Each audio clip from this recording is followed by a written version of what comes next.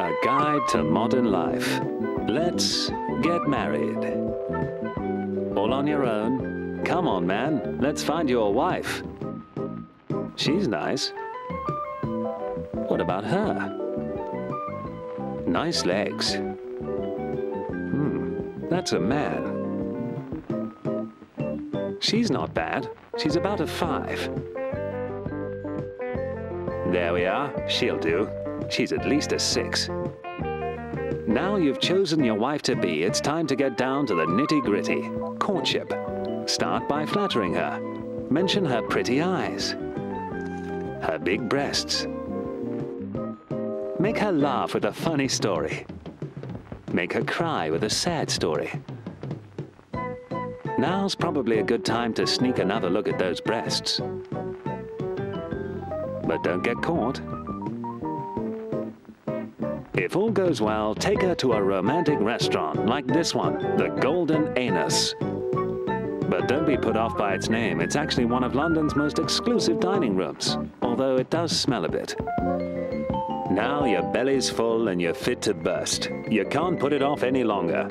Come on, man, it's time to propose. You stand up, take your trousers off, and get down on one knee. Then you take a deep breath, look into her eyes, and utter the immortal words If you don't marry me, I'll kill myself. I will. All right. It's the big day, and you're all set. Everyone's there. Your mum, your dad, your gay dad, the best man, and the worst man. But you're nervous. Your mouth's all dry and your bladder's bursting with urine.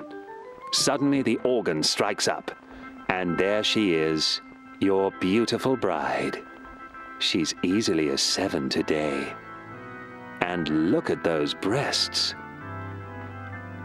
Just think, soon they'll legally be yours. And so the ceremony begins. Do you fancy this woman? Yes. Do you fancy this man? Yes. Do you promise never to be led astray by prostitutes? I do.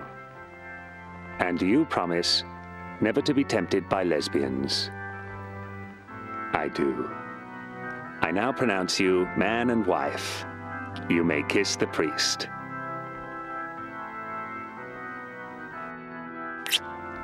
Congratulations, you've done it. You've got married.